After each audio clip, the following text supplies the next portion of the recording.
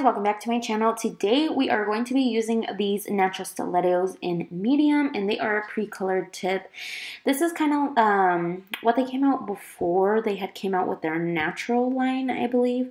So this does have five different colors in it, which is great. So if you are somebody who likes to switch up the color of your nails, but they do have their new line coming out. I will be doing a video on those in the near future. I am just waiting for them to be sent out to me. It has been actually taking a little over, I think it's one, I'm going to say about like two weeks. Um, so you guys will be able to see a video on that and what I think of them. So stay tuned for that because those are the new ones.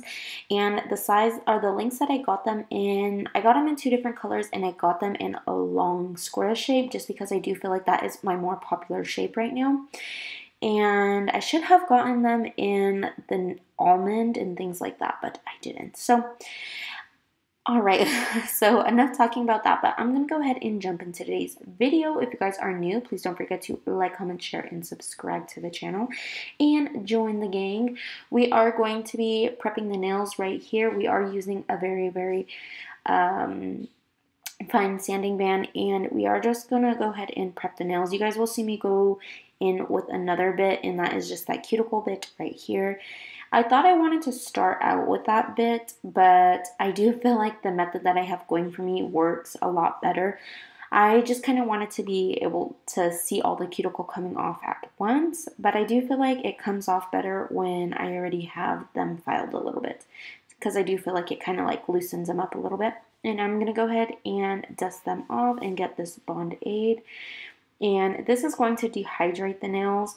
Um, I want my nails to last, so with that being said, I want to go ahead and just put this on. I like to do two coats. I do find that doing two coats is the best for me. And then young nails, you guys, if you guys haven't tried this, this is going to make your nails last even longer. Um, I have never used the actual whole kit from Apres, but I would actually really like to try that out and see what that's about. But I do imagine that it is the same because it does have a dehydrator and primer with it. But I also like to do two coats of this. But I do want to mention be careful with this bottle just because it is super, like, the product is like water. So I do feel like if you tip it over, which I do very often, um, it ends up like just being spilt and things like that. All right, something that I would actually recommend is sizing your tips and filing them before you dehydrate and prime. Um, and then right here, you guys can see I'm etching the inside of the nail and then I am thinning out by the cuticle area. I just feel like this makes it lay a lot nicer and it looks more of a seamless blend when it is growing out. And this is what I mean by that is just going around the cuticle area. And that basically helps just like when I don't know if you guys ever heard of people sealing the cuticle, but a lot of people use that term when they try to get it nice and flush around the cuticle. So um, this is basically my method to help kind of make it a little bit easier. Sometimes I will have to go in around the cuticle uh, if I do end up having some of the gel that like kind of comes out at the top. And I pre-sized off camera, but something that I would recommend is starting from one side of the nail and pushing down to the other. And then now I'm going to go ahead and get the sensitive gel from Apres. This is really great. It works really, really well for me. Um, I do have an allergy to the HEMA that's in a lot of the product, a lot of nail products in particular. So with this, I really actually enjoy using it. A lot of people said that they've they weren't sure if it was going to last as long. I haven't had a problem with them um, lasting and things like that. So, but just keep in mind with young nails, I do know that it does have some HEMA in it. So just keep that in mind if you are like me and are having the same issues and things like that. But I'm going to go ahead and put a good amount of that extend gel on there and I'm going to put it in the light. I do notice with these pre-colored tips I don't get as much of a heat spike as I normally do if they are a clear tip. So definitely recommend curing them extra because you want them to adhere really really well to the nails. So you guys could see I slid that one off um, but it's because I did feel like it didn't have enough. So What I will do if there is not enough product on the nail, I will kind of scrape it across the nail bed without being too rough. Um, just because I do feel like it allows me to take all the product with me. If I were to completely just lift it up, then it's just going to be a big old mess. I'm going to have to wipe it down and like redehydrate and all that. And that is not something I want to do. So, um, because you don't want the, the gel to be all up in your cuticle and things like that. So this light that I do have right here, everyone always asks me where I got this light from, or I get this light. Um, I got this light from Montage Nail Supply. Unfortunately, they only have it in store. They don't have it online. When I first got it, it was only like $6, but the price has gone up. Of course, you guys know how much everything has gone up. So I believe that it is now 17 but even still, I feel like that is a very fair price. But I love this light. The battery actually stays charged on this thing for a long time. Like, since I've had it, I think I've only had to charge it maybe once or maybe, maybe, maybe twice. But I love that because, as you guys know, as I'm not a fan of having to keep on like charging and stuff, I do feel like my Kiara Sky lamp, I do feel like I had to charge that a lot more. So usually after every day that I use the Kiara Sky lamp, I do end up having to charge it. Um, but that's when I'm working with clients. If I am just doing it on a single person, then my lamp will be able to go like four times. So just keep that in mind. I do like to put a cure in the lamp um, after I have them all down. I like to put them into the lamp for 60 seconds, but I do feel like with this one I did end up doing 60 seconds twice just because I really wanted them to adhere and make sure that there was no uncured gel underneath these nails just because they, since they do have some of that color to them. I'm going to go ahead and go in with my Adoro files. Um, these are pretty good files. I've gotten these in the past. I ran out of my other ones that I got from Montage, so I've just been using these and these will do. I do feel like they do dull down a little bit faster than my montage ones, which I was happy because my montage ones, they do last me. But the only thing with that is I do feel like, I mean, I have to throw them away at every client anyway, so it doesn't, I don't know, that kind of doesn't really matter to me. But if you guys are using the montage files on just yourself, I do highly recommend them just because they will last you a really long time and you won't end up having to like get the whole pack of them, especially due to how long that they last you. So if you guys are purchasing online, just keep that in mind. But if you are using it on more than one people, definitely throw them away after every use. But you guys see how crazy I hold my hands when I am filing on myself. A lot of people ask me how I do my own nails, and I just want to be able to jump on here and show you. So I do want to do some abstract nails. Um, so I'm going to go ahead and go in with the white. The white that I am using is from Nailsential. And you guys could just see how pigmented I I love this. And I feel like it self-levels and smooths out. So there is no bulky things going on, which I appreciate. Um, if you guys do want a review on this or an unboxing, definitely make sure to check out my videos before because I do have a video of my experience of opening it up and things like that. I really, really love this product. Um, and yeah, so make sure to check that out and see what I think of the other things because I do, I did end up getting some tips, some top coats, and the black and white gel.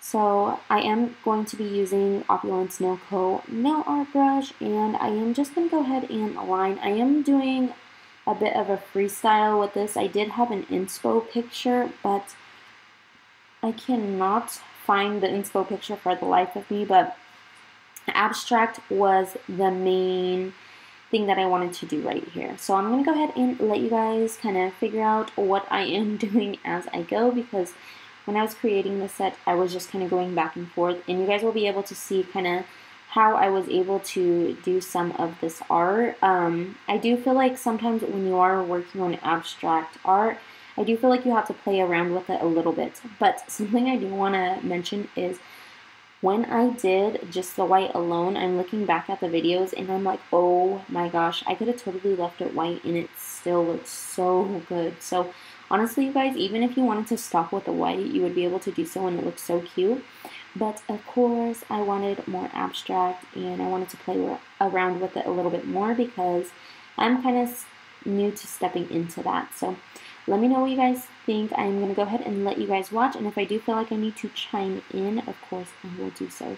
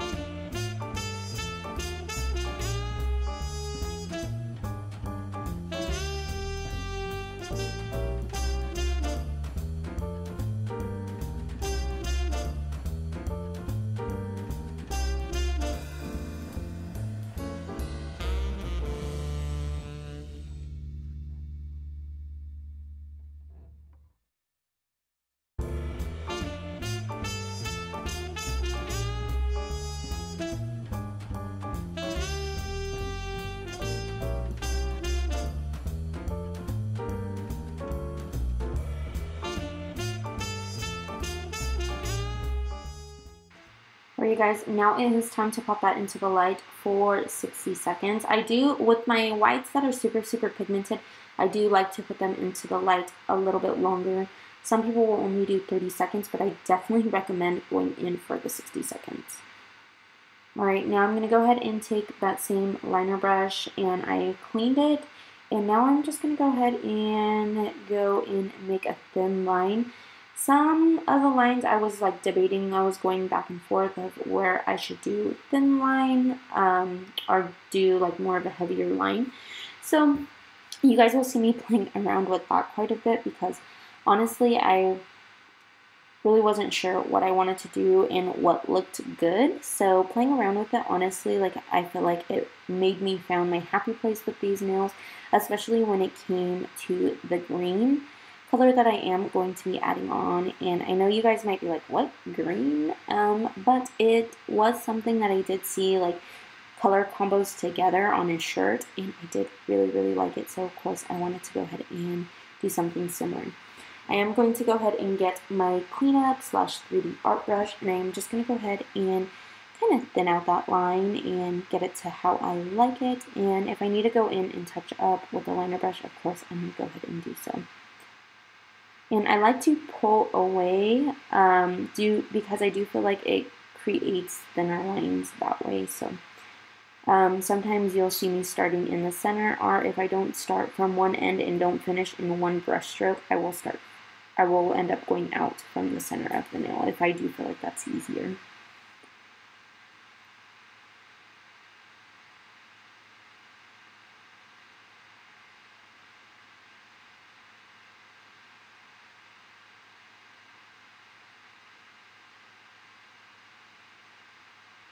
Alright, you guys, now I'm going to go ahead and go in with that green. All the colors will be listed down below if you guys are interested in these colors. The black that I did use was also from Nailsential, and the green was from Colorland Gels.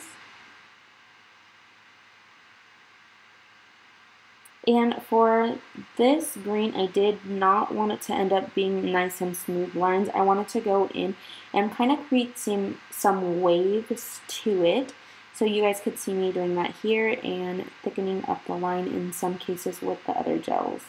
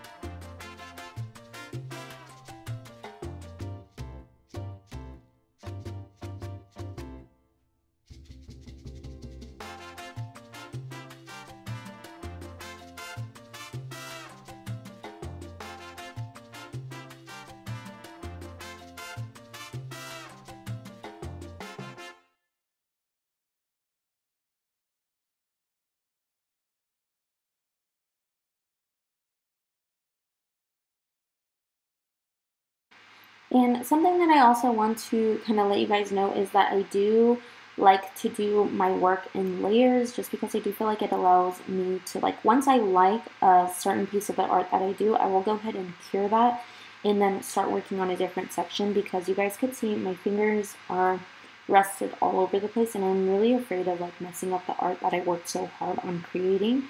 So of course I want to make sure I cure every color in between. Now I'm going to go ahead and get my dotting tool and you guys can see I created a whole bunch of little dots. I went back and actually added some thicker dots in some cases just because I felt like it was more abstract and I feel like the look of it looked really, really cool. So now I'm going to go ahead and go in and after I got done curing all those little dots and making those little stars, I'm going to go ahead and go in with Nailsential Matte Top Coat and I'm actually really impressed with this top coat, you guys. If you guys haven't tried this, make sure to check out the video. You guys will be able to see what it looks like on white and black. But this is the finished look, you guys. I hope you guys really enjoyed today's video. If you guys haven't already, please don't forget to like, comment, share, and subscribe to the channel. And if you guys really like this video in particular on how to do your own nails, let me know down in the comments and I'll do more videos like this. Alright you guys, have a great day. Bye!